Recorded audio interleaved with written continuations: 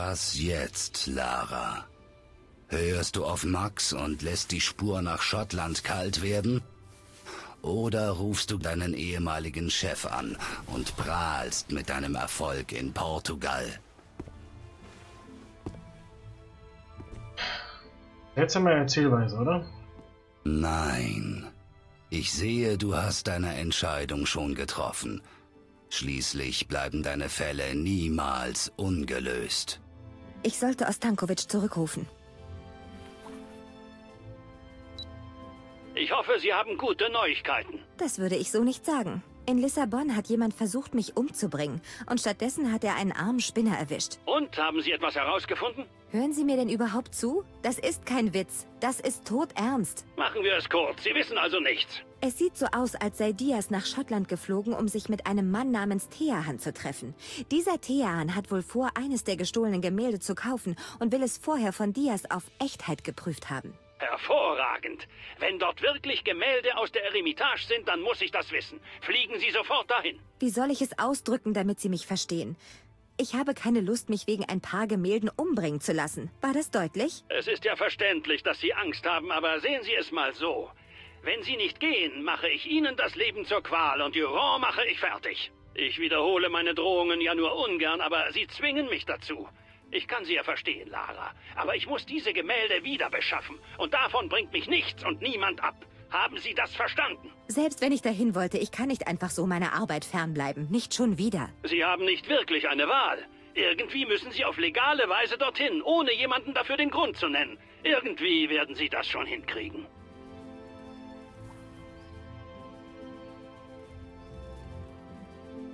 Und es geht weiter.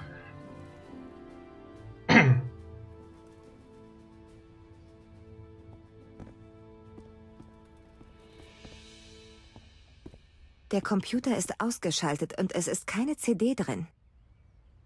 Okay.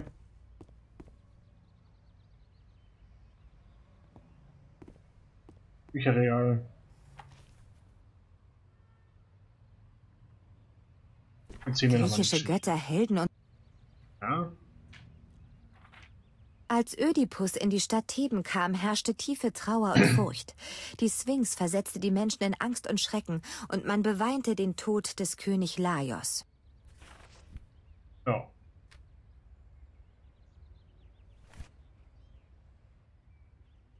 Okay, zum Fenster. Zur Tür.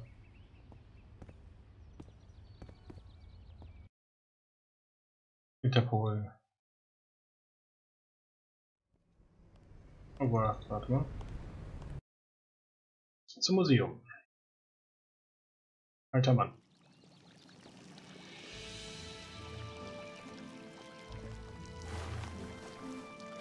Ist ja doch ein Tippgeber. Sie sehen besorgt aus, Lara. Jemand, den ich gern habe, steckt in sehr großen Schwierigkeiten. Gibt es einen neuen Mann in Ihrem Leben? Wohnen Sie zusammen? Sagten Sie nicht, Sie leben alleine? Das stimmt. Manchmal viel zu sehr. Lassen Sie mich raten. Sie haben sich in ihn verliebt, aber er weiß es noch nicht einmal.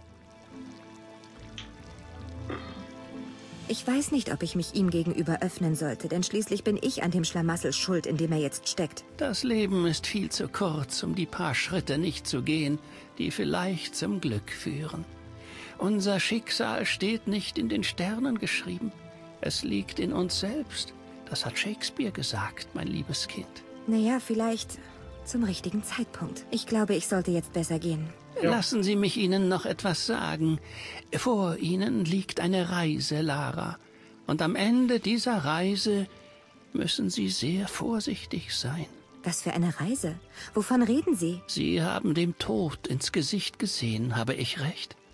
Zum ersten Mal ist er Ihnen ganz nahe gekommen. Und das ist nie angenehm. Hören wir doch auf mit diesem Spielchen. Woher haben Sie das gewusst? Glauben Sie an das Schicksal, Lara?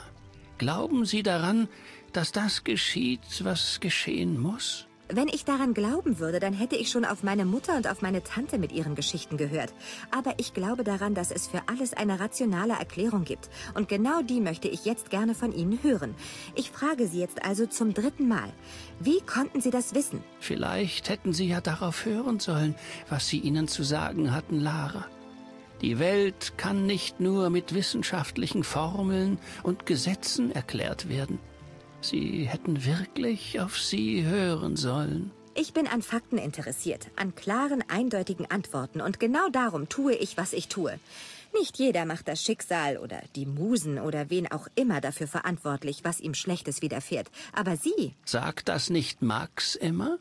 Wenn etwas schief läuft, behauptet er immer, die Musen stünden nicht auf seiner Seite. Ich kann mich nicht erinnern, Ihnen seinen Namen gesagt zu haben. Natürlich haben Sie das.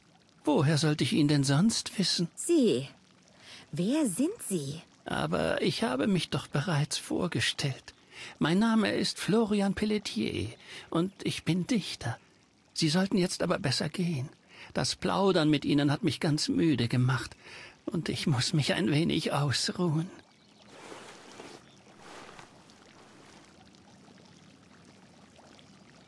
Irgendwas ist mit dem nicht in Ordnung. Die Statue einer jungen Frau. Soweit. Okay, sie hat ihn Max nicht genannt. Ich gehe mal wieder zu Inter.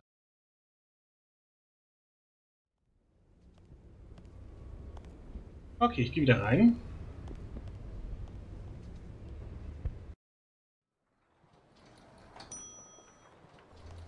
Und in mein Büro.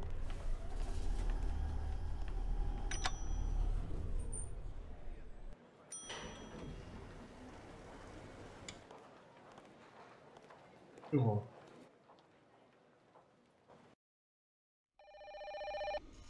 Schon klingelt das Telefon. Hier ist Svetlova. Hallo, hier ist Muriel. Du bist gerade aus Lissabon zurückgekommen, stimmt's? Hast du schon gehört, was dort passiert ist? Nein. Äh, und was ist passiert? Das weißt du nicht? Da ist ein Haus in die Luft geflogen und dabei wurde jemand getötet. Genau da, wo du warst. Sei bloß froh, dass du wieder da bist. Du hast ja keine Ahnung, wie froh ich bin. Ich habe mir wirklich Sorgen um dich gemacht. Ich kenne doch dein Glück. Wenn der schiefe Turm von Pisa umfallen würde, dann bestimmt gerade, wenn du direkt unten drunter ein Picknick machst. Bitte fahre am besten nirgendwo mehr hin, ja? Keine Sorge, ich Ja. habe nicht die Absicht.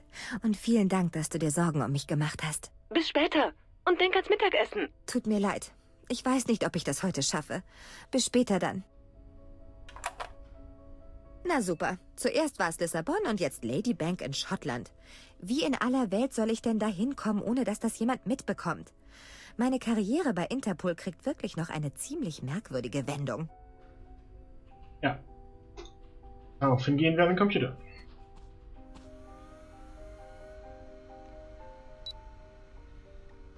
Oh, eine E-Mail. Scheint, als würde jemand aus unserer Abteilung nach Schottland fliegen. Das könnte unter Umständen hilfreich sein. Ich muss Charlotte eine E-Mail schreiben, um mehr darüber zu erfahren. Im Augenblick haben wir mehrere wichtige Operationen zeitgleich laufen. Ich liste sie hier noch einmal auf. Zum Ende der Woche muss unbedingt die ganze Papierkram zu den Boston Fall abgeschlossen sein. Berichte der vorgeladenen Experten sind bereits seit zwei Wochen fertig, also ist dieses Mal unsere Abteilung allein verantwortlich für die Verzögerung. Am Mittwoch wird um neun die italienische Delegation hier erscheinen. Offiziell kommen sie, um uns für die Rückgabe des Lecom zu danken. Inoffiziell jedoch werden sie versuchen, uns zur Rückgabe des Degas zu bewegen. Seien Sie nett, machen Sie, aber machen Sie diesbezüglich keine Versprechen und sagen Sie so wenig wie möglich zu diesem Thema. Diese Woche wird auch der Transfer zur Modern Art Galerie in Glasgow endlich stattfinden. Die Statuetten werden zuerst per Helikopter zum Flughafen nach Chambay gebracht und von dort aus mit dem Jet direkt nach Glasgow. Der Helikopter bleibt dann noch zwei weitere Tage in Chambay zur Inspektion. Ich habe vergessen, wem du eine E-Mail schreiben musst, Charlotte. Madame Renier, ich brauche mehr Informationen Flug nach Schottland. Wann soll er stattfinden und wer übernimmt ihn? Vielen Dank, Lara Svetlova. Ring. Svetlova. Hier ist Jennings von der Technik. Ich wollte nur sicher gehen, dass Sie Ihren Akku auch gekriegt haben. Ja, habe ich. Wäre schön gewesen, wenn ich den schon vor einem Monat gekriegt hätte. Sicher, sicher. Aber die Hauptsache ist doch, dass wir Ihr Problem gelöst haben, oder? Jetzt ist alles wieder in Ordnung. Wollen Sie da jetzt wirklich noch eine offizielle Beschwerde einreichen? Ja, Dieses Mal nicht.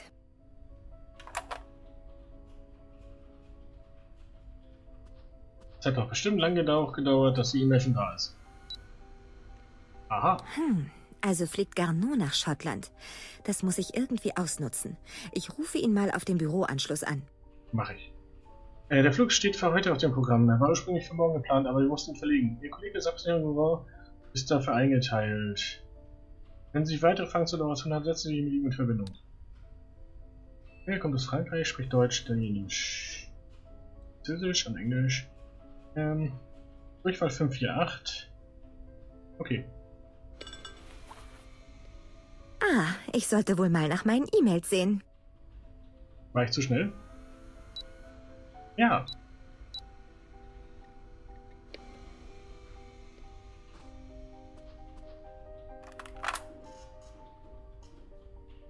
Äh, Garno? Sebastian, hier ist Lara. Fliegst du mit den Statuetten nach Schottland? Ja, schon. Aber ich brauche dir ja wohl nicht zu sagen, dass ich nicht besonders begeistert bin. René ist gerade mal seit vorgestern aus der Entbindungsstation zu Hause und da muss ich schon wieder für drei Tage weg. Was will diese dumme Kuh denn jetzt noch? Dann würde es dir also nichts ausmachen, wenn ich an deiner Stelle fliegen würde? Du machst wohl Witze. Wenn du mir das abnimmst, dann nenne ich unser Kind nach dir. Super, danke. Dann will ich mal hoffen, dass es kein Junge ist. Ich weiß nicht, was ich gemacht hätte, wenn Garnon nicht schon für den Flug dahin eingeteilt gewesen wäre. Jetzt reicht es mir aber wirklich. Ostankovic ist dieses Mal wirklich zu weit gegangen. Dieses letzte Mal fliege ich noch. Dann habe ich endgültig genug.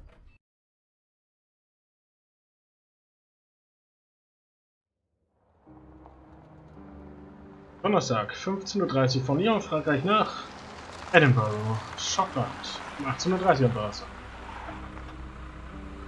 Du hast recht, Lara. Deine letzte Reise hat gerade begonnen. War es wirklich eine gute Idee, nicht auf Max zu hören? Kehrst du zurück mit der Lösung des Falles in den Händen oder wird Ladybank dein Grab werden? Schauen wir doch mal. Könnte mein Grab werden, aber Wenn Diaz heute Morgen nach Edinburgh geflogen ist, um Teahan zu treffen, dann wäre das doch die perfekte Gelegenheit. Ich könnte die beiden und den Dieb dabei überraschen, wenn sie gerade den Deal abschließen. Um ungesehen ins Haus zu kommen, muss ich vermeiden, von den Überwachungskameras erfasst zu werden. Warum Verdacht erregen, wenn ich es vermeiden kann? Ja. Edward Teahan hat ein Vermögen geerbt, aber es scheint, als würde er das alles in Kunstwerke investieren statt in Reparaturen. Sein Besitz geht definitiv vor die Hunde. Da braucht man sich doch nur den kaputten Traktor anzusehen. ja. Großer flacher Stein. Gewöhnlicher flacher Stein. Der ist viel zu schwer, den kriege ich nicht vom Fleck. Okay. Gut, dass die Kamera da nicht nervt.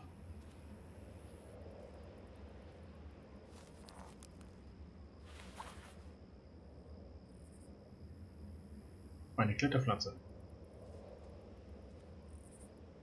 Irgendeine unverwüstliche Kletterpflanze. Keine Ahnung, wie die heißt.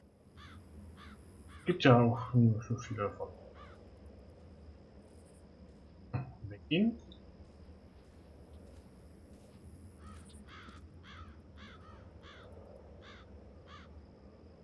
Oder mit dem Stein auf den Stein. Alle. Der Pflanze Namensschild.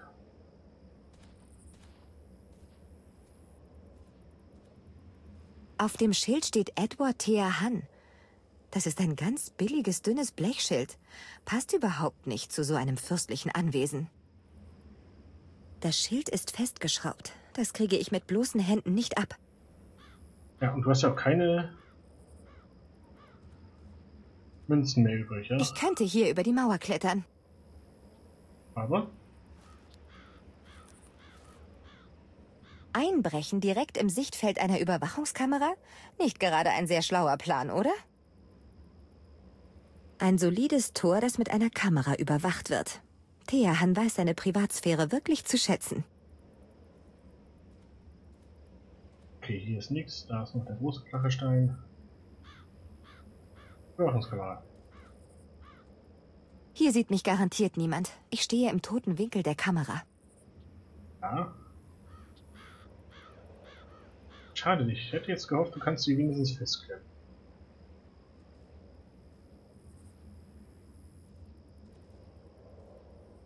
Hier kann ich auch nichts machen, ne? Hier sieht mich...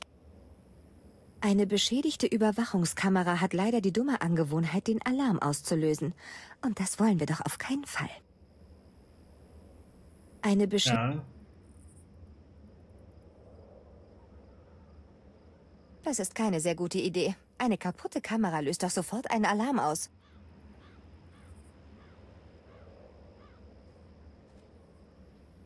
Der ist viel zu schwer. Den kriege ich nicht vom Fleck. Gewöhnlicher flacher Stein.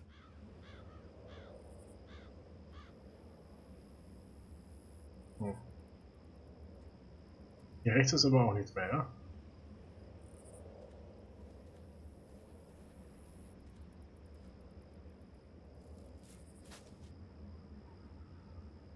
Ja, jetzt habe ich ein Stück Kletterpflanze abgerissen. Mal gucken, ob ich damit vielleicht irgendwas ändern kann.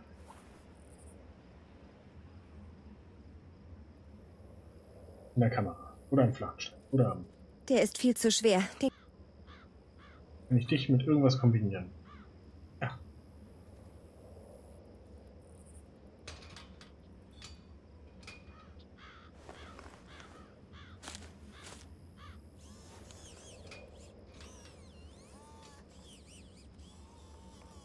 Wollte einen Stein dazwischen klemmen. Okay.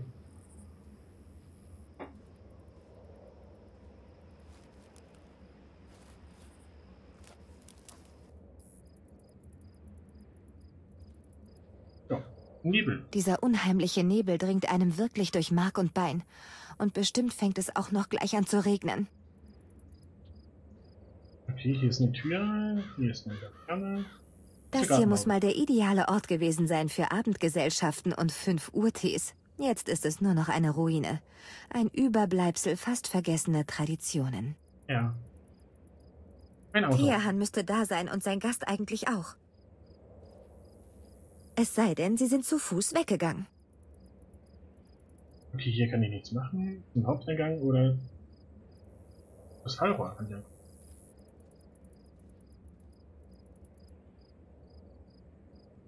Ich sehe auch keine Überwachungskameras. Vielleicht könnte ich hier ja hochklettern. Ach doch. Statt die Tür zu nehmen. Nein. So geht's nicht. Ich bin viel zu schwer für das Rohr. Ich habe es ja jetzt schon fast abgerissen und eine von den Schellen ist auf den Boden gefallen. Wenigstens hat sie sich erst gelöst, als ich schon wieder auf dem Boden stand. Okay, nimm mit. Kostet ja nichts. Ich da hier rum.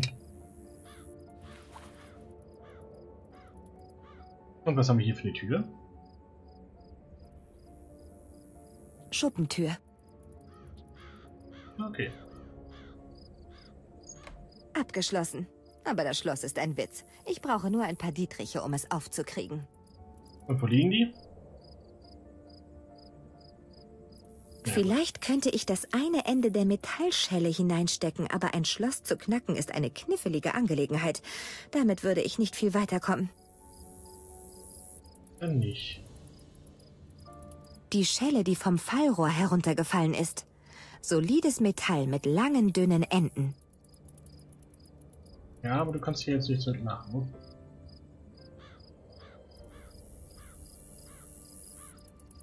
Ja, dann gehen wir halt nach vorne. Ich komme dem Haupteingang besser nicht zu nah. Dort sehe ich noch eine Kamera und an der vorbeizukommen wäre nicht so einfach. Ja, aber hier ist leicht offenes Ich komme Fenster. da nicht hoch. Ich habe mir gerade die letzte Chance verbaut, da reinzukommen. Okay. Das Fenster. Ah, so komme ich vielleicht hinein. Es hat nur einen ganz normalen Haken. Vielleicht kann ich den irgendwie aufschieben.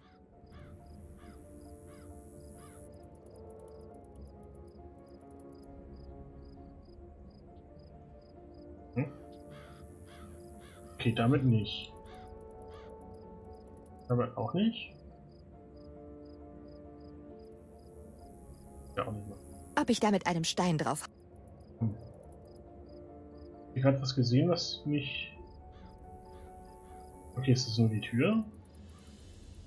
Kellerfenster? Das ist Haus Fenster ist ganz dunkel. Hoffentlich komme ich noch nicht zu spät. Den Haupteingang kann ich nicht. Hier kann ich auch nicht. Muss ich vielleicht zum Haupteingang wieder und da irgendwas mit dem Stein machen? Die Stufen sind in schlechtem Zustand. Das Klima hier bekommt Holz offensichtlich nicht gut.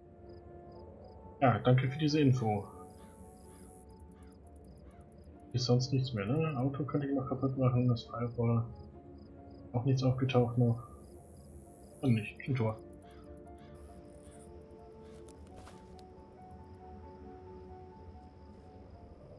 Namensschild. Das Schild ist festgeschrieben. Jetzt komm, auf. Das kann ich nicht kombinieren. Ohne eine feste Unterlage brauche ich es gar nicht erst zu versuchen. Ich würde mich nur verletzen. Ach so, rum geht das oder was?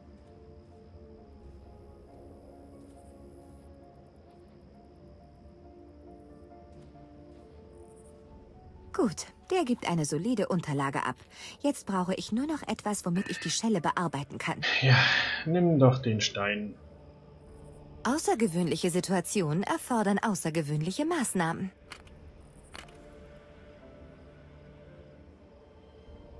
Und daraus habe ich jetzt gemacht eine Fallrohrschelle. Ein paar primitive Dietriche. Sowas kann man immer gut gebrauchen. Ja, dann hopp über die Mauer. Und dann noch ins Gebäude rein.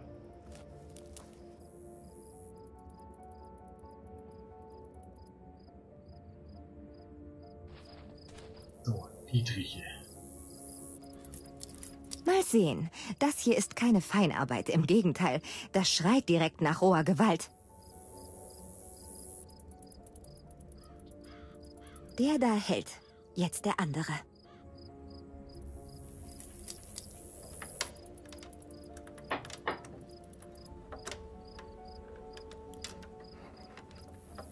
Mist. Dämliches Schloss. Da ist nicht genug Platz für zwei Dietriche. Die kann ich so nicht lange halten. Hey, es funktioniert. Und jetzt der obere. Na bitte. Es funktioniert also. Das habe ich zum ersten Mal gemacht. Und hoffentlich auch zum letzten Mal. Ja, also Tür auf. Hm. Dadurch komme ich auch nicht rein. Der Raum ist voll mit Gerümpel, aber ein paar Sachen wären vielleicht ganz nützlich.